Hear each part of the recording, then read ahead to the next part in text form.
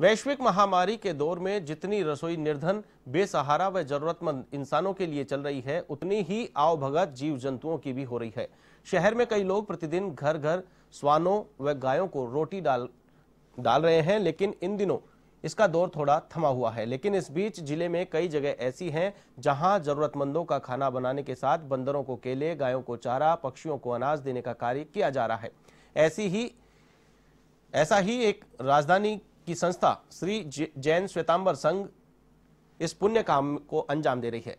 संघ के कार्यकर्ता प्रतिदिन सुबह से ही विभिन्न क्षेत्रों में जाकर जरूरतमंद परिवारों को भोजन और जीव जंतुओं को उनका अल्पाहार देने में लग जाते हैं। संघ अध्यक्ष त्रिलोकचंद गोलेछा ने बताया कि इस कार्य के लिए जयपुर कमिश्नरेट से आभार संदेश आया।